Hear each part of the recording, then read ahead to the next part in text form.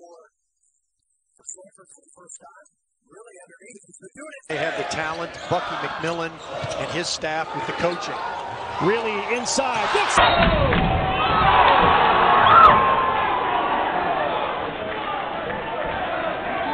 And that possession. Got it back with the turnover off Glisten. Rillie slips inside. Left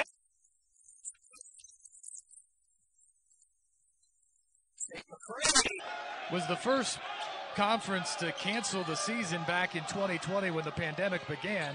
And then And that was good poise by the Bulldogs, not forcing a shot, didn't have it. Really the man from down on Samford game. Firehawks needed that. They started four for eight. You know, often you think about a guy driving to the basket just being his ability to dribble, but Some- And Earl to sub Jake Stevens before this under 12 media. still have a double team there. They get it to die. Now good ball movement and real. But that bank was at the ATM machine after hours.